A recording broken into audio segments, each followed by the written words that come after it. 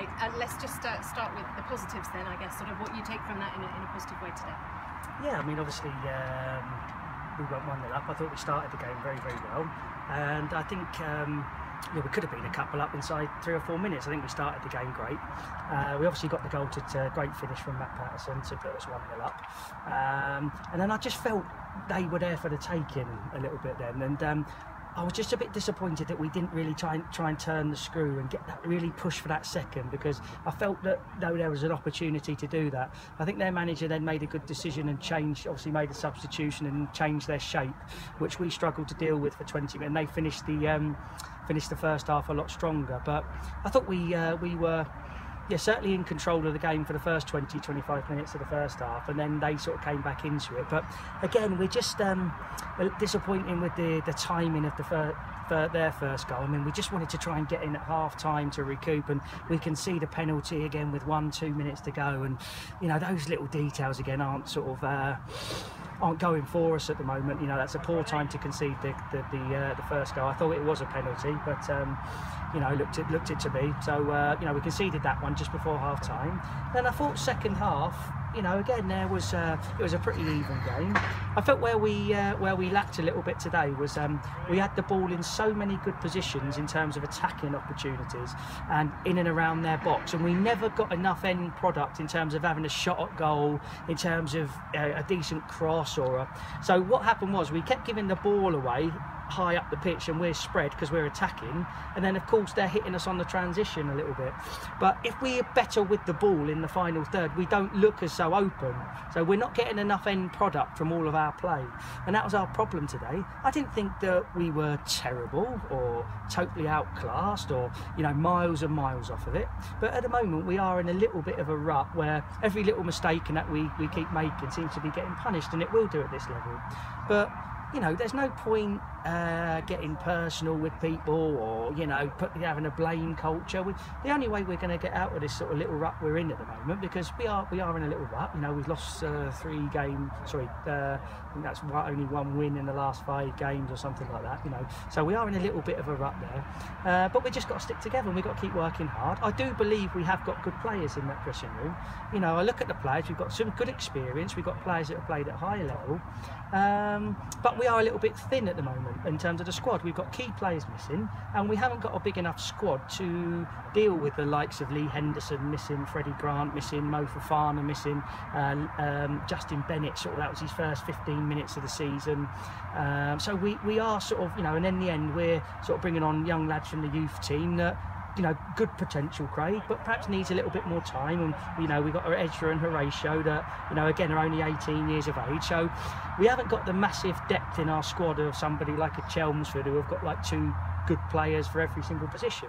And when we're missing the key players like we were today, you know, it, we, we, you know, we're at full tilt to try and uh, go. But like I say, um, all we can do is stick together we've got to keep working. We certainly won't get out of it if we all start, you know, turning on each other and that type of stuff.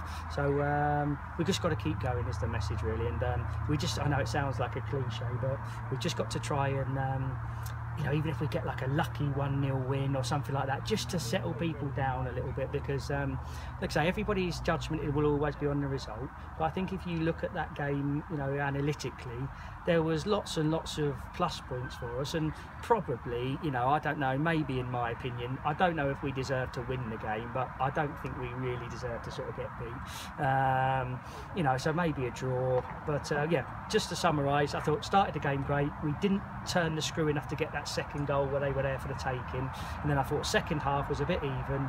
And the second goal that we conceded from our own free kick, we tried it to play short we give the ball away on the edge of our, you know, attacking on the edge of their box, and um, then about 12, 13 seconds later, the ball's in the back of our net. So that's our free kick that that's come from.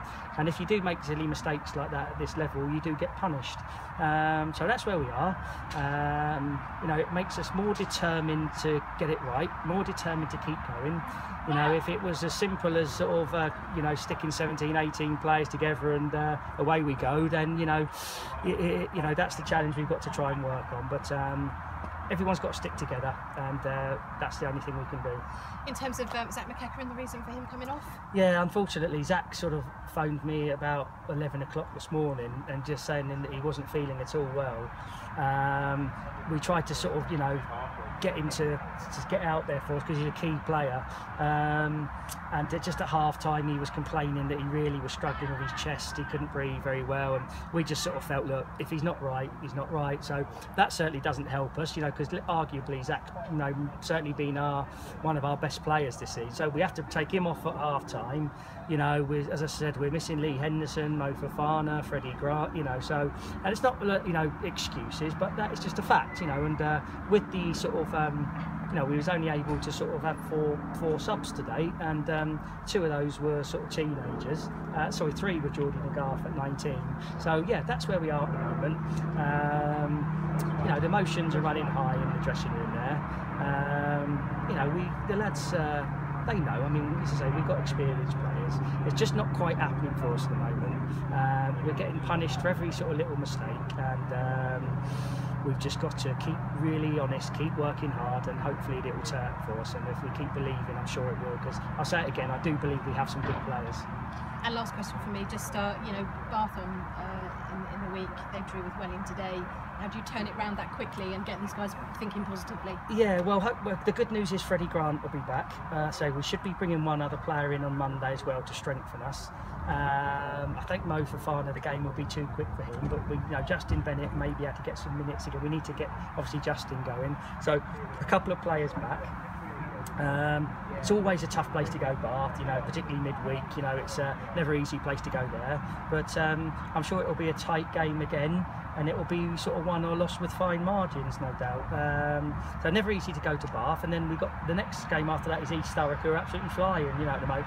Credit to them, they're unbelievable start. You know, great uh, job that their manager John Coventry is doing. So, two tough games coming up, um, but the only way we're going to get out of it is by working as hard as we can, by sticking together, and by keep believing. And we've got to hope that um, you know a little bit of luck will sort of go with us, and um, you know we'll be able to turn the corner.